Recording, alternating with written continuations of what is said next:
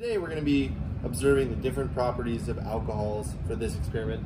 And what I'm going to start by doing is just looking at a simple solubility test in water. So water is going to have solubility with alcohols in a lot of different ways depending on um, whether or not the particular alcohol is, let's say, more reactive with water. Let's say if it has a, a pKa within a reasonable range that can react with water. Um, or if it has a big organic portion that's going to be less interested in spending time in water, uh, even though, especially DI water, is not extremely ionic um, or charged compared to, um, uh, let's say, uh, saltier water, something like that. So if we have just some 2-methyl uh, cyclohexanol, we can take a look at the molecule up here and you can actually see that it has a relatively large organic portion on it. And that's going to make it much less soluble than you would expect in water, but we can observe that and see if that's actually true. Because sometimes different uh, compounds might surprise you. So uh, let's get going. Got some of this 2-methyl cyclohexanol. What you want to be looking for is a phase boundary. You want to see two different layers which for two clear solutions might be a little difficult. Just do your best.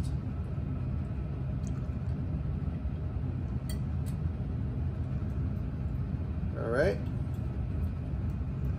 So for this particular compound, our prediction came true.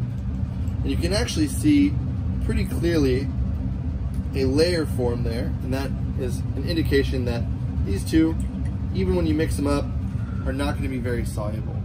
You can see all these bubbles or these uh, small uh, little cells form when you mix it up and it'll eventually settle out. That is like salad oil and uh, vinegar, just a good sign of insolubility. So this was our first sample out of the six. Let's kind of go through them a little faster. Next we have uh, one butanol.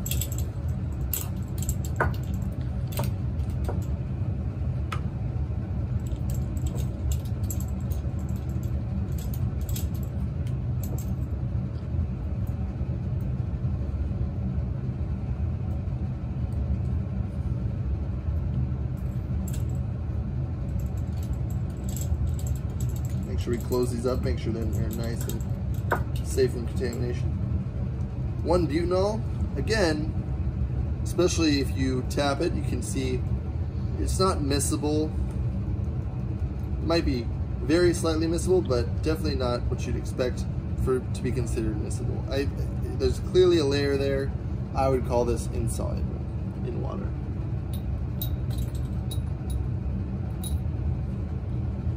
All right and then one hexanol. So is one hexanol going to be more polar or less polar than one butanol? I pose you this question. I answer you this question. Well, let's take a look at the results of the solubility test first and then the answer. So it looks like we have a pretty strong layer there Again, if you mix it up or try to mix it up, you're gonna get lots of little cells in there, little bubbles, due to them, to them being quite insoluble. And you would expect that one hexanol would be even less soluble in water probably than one butanol. Why? There's a bigger, not there's a much bigger non-polar region on one hexanol. All right, on to the next test. 2-propanol, also known as isopropyl alcohol. For those of you who lived through the great pandemic of 2020, this might be a familiar compound to you, and you may have used it in an aqueous solution. So it appears to be totally soluble. You don't see any layer here, and that's what you'd expect. Usually, if you go to the store and you buy alcohol for disinfecting, it is often going to be 2-propanol, sometimes ethanol, but usually it's just isopropyl alcohol. And it is comfortably in an aqueous solution, often found at 70% for disinfecting purposes. All right, totally soluble for that one. Sample number four. So, next sample, sample number five, is tert-butyl alcohol. So when you look at the structure of tert-butyl alcohol, it's not quite as long as the other chains of alcohols, but it, it does have a nice solid nonpolar region. And so we will see in practice whether that pays off.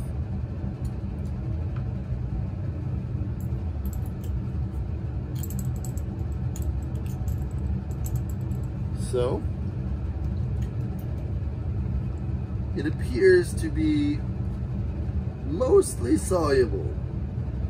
It's not, it's definitely forming some small bubbles and it seems pretty hesitant about being soluble with this water. Um, there might be, so I would say it's, it's mostly miscible, but not perfectly miscible. So it's slightly insoluble, I'm sure. So I see some little bubbles in there and some distortion in the liquid uh, when I mix it. An unexpected result for me, in my, my opinion, no doubt. Or at least based on the general concepts here. All right, last but not least, phenol. You want to be extra careful with phenol. This is like the only really dangerous one here. Um, pretty nasty sometimes. Can burn stuff, can dissolve stuff. Let's see how it reacts with that water. Or whether it mixes, at least. Will it mix? Didn't, wasn't very exothermic, so that's nice. So it appears to be also fully soluble. And you would expect that for phenol. Phenol is going to actually have um, a pKa uh, that's going to be much lower than the other alcohols, which is going to make it less, uh, or it's going to be more vulnerable to forming um, ions and disassociating. And uh, so that's going to be a valuable property to mingle well with water. Water loves to form ionic compounds. So this is fully soluble, not even a trace of any kind of strange bubbles or insoluble, immiscible chunks. So number six, phenol, 100%. All right. So far, which of these were actually soluble? So the ones that were the most soluble were probably isopropyl alcohol, number four, and phenol, number six. So if you look at all of these, uh, this one was probably the closest to being somewhere in between. Um, and these three were definitely not soluble in water. And that makes sense because these are gonna be probably the most polarizable and these are gonna be the least polarizable because they have such large non-polar regions. And that's gonna make them less interested in acting with a relatively polar compound like water. All right, on to the next test. So next we're gonna do the Lucas test. We're gonna take the Lucas reagent, and we're gonna add just a little bit of it to each of these test tubes, which I've already filled with a sample of each of these individual reagents. And it's important to consider whether you have a one prime, two prime, or three prime alcohol for each of these tests. Uh, and it's worth taking note before you actually observe which reagent uh, is working, or which uh, of these samples the Lucas reagent will be working with. So for the first compound, uh, 2-methyl cyclohexanol, we're going to be looking at the alcohol and its position. Is it primary, secondary, or tertiary? So if you guessed secondary, you'd be correct. That's gonna be two prime. So I can write that up on the board.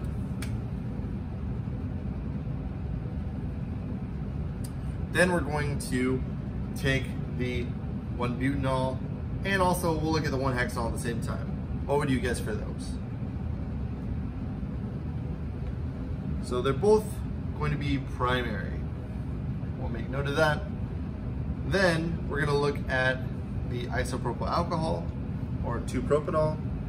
That's gonna be a 2. this is going to be tertiary, and this is going to be neither or none of all of these. So phenol is going to be a little different. It's kind of like the wild card, just because of the way that it has actually an aryl structure attached to it instead of any kind of alkyl structure.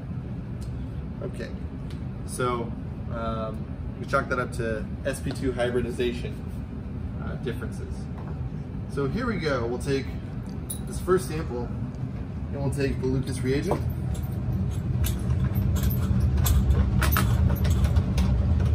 And it's important to look for the initial reaction, but sometimes the reaction might not happen immediately, so we'll also take a look at it after a few minutes.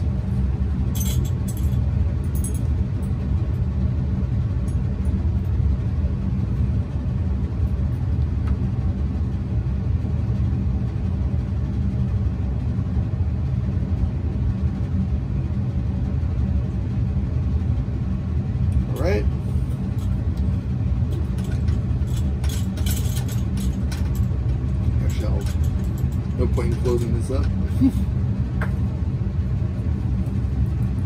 right?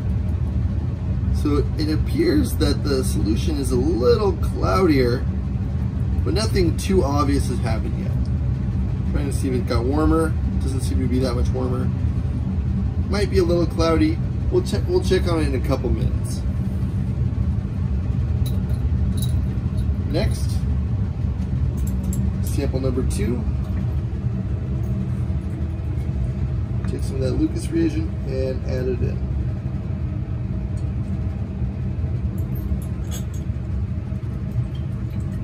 Again, not seeing much of anything. This appears to be miscible, it's just mixing up together and not changing color whatsoever.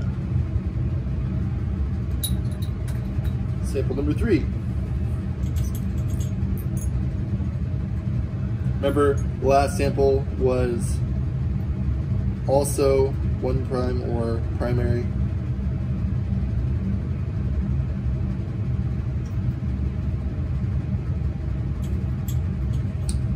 And so is this one. Virtually no effect whatsoever. We'll check on it again in a couple minutes, but nothing. A big blank. All right, number four isopropyl alcohol, 2 prime, secondary.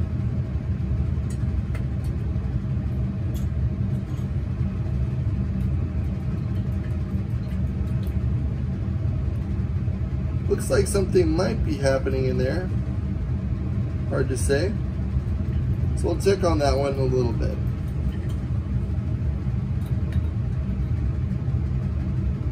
Then we have Sample five.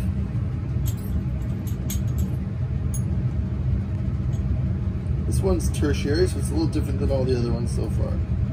Let's take a look.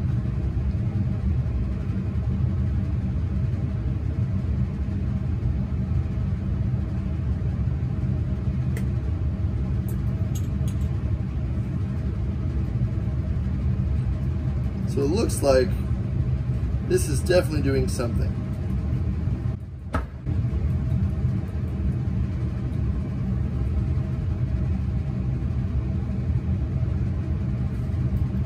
something definitely happened when I mixed this together before. We will see in a second whether or not that becomes any further reaction.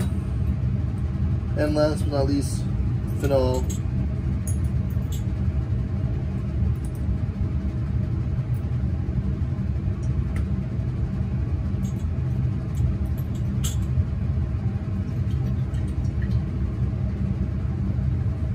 that didn't appear to react either.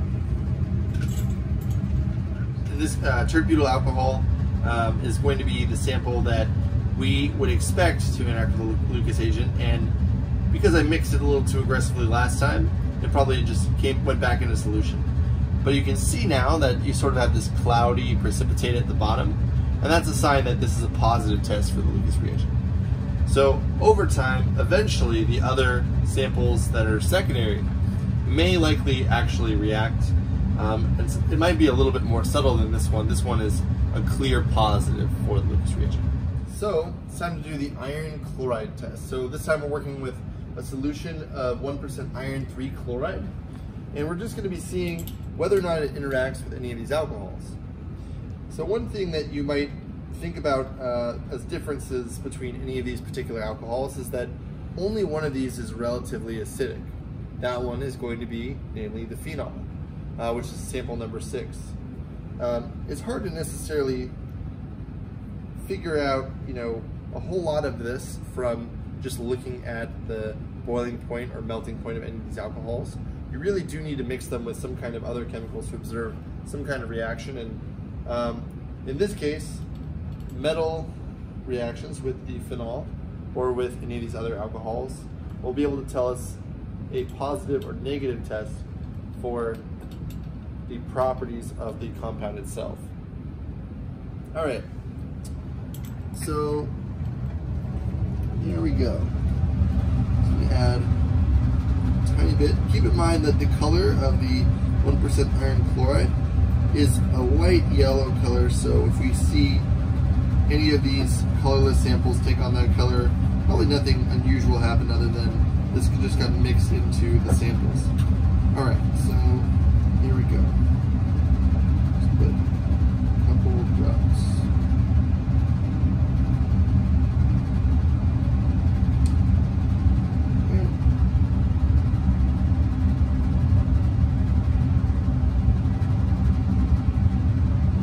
Keep in mind that this is also an aqueous solution, so it's not going to be extremely miscible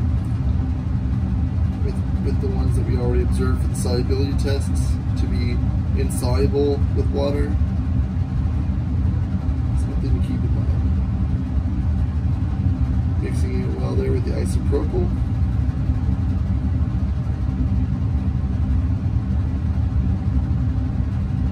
Okay. And oh, that's unusual. So what you're seeing here is a characterization test that we will be able to talk a little bit more about later.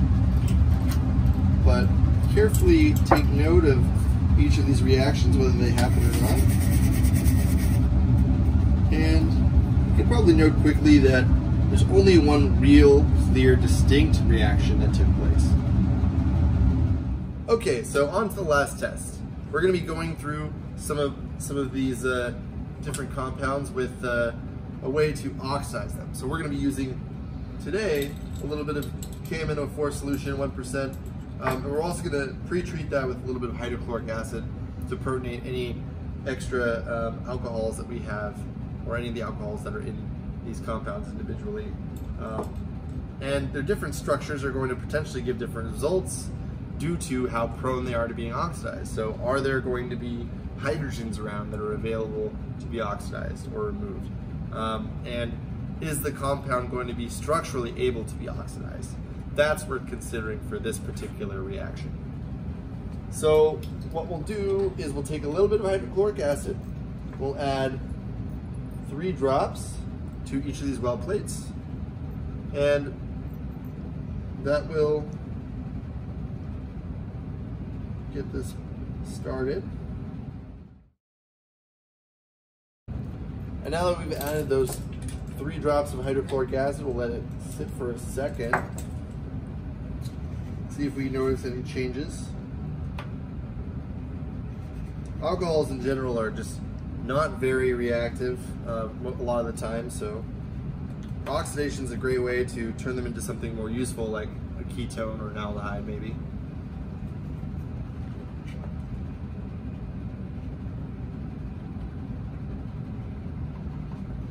typically have a pretty high pKa too, so they're not really easily deprotonated for any reason. So then, we're going to take this KMNO4 solution and we're going to observe each of these individual reactions in each of these well plates. So it's going to be, this row is going to be one, two, and three, and this row is going to be one, two, or sorry, four, five, and six. So one, two, three, four, five, and six are the samples from before, and I'll try to name the, the samples as we go through them anyways.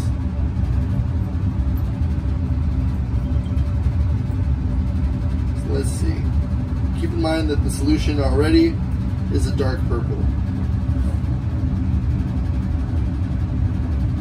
So for the 2-methyl cyclobutanol, or sorry, uh, the 2-methyl cyclohexanol, here we go.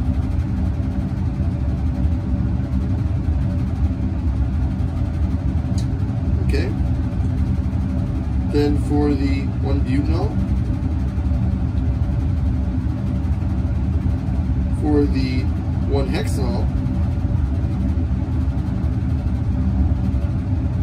for the 2-propanol, or the isopropyl alcohol. And then let's say for the 2-methyl 2-propanol, tert-butyl alcohol.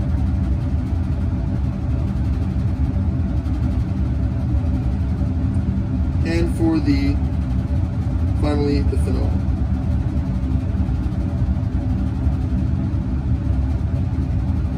The 1% KMNO4 solution was a purple color, and it appears, so if you'll see in here, it's quite purple. And if you look back at the samples, this sample in particular, for the 2-methyl-2-propanol, is going to be not barely changed in color at all. The rest of these appear to have all changed individually, and it's expected that you'll probably have a less sterically hindered alcohol which has hydrogens available for oxidation, so these make sense. The phenol is more of a mystery here, but phenol also has a variety of different reactivities because it's an aromatic alcohol. This is our final test, so make sure you pay attention to the original color, so you may need to rewind for that, and the final color of each of these reagents, and mixtures, in this case, which didn't react, and uh, include that in all of your lab notebook um, spaces for the colors. All right, well, I'll uh, see you the next reaction.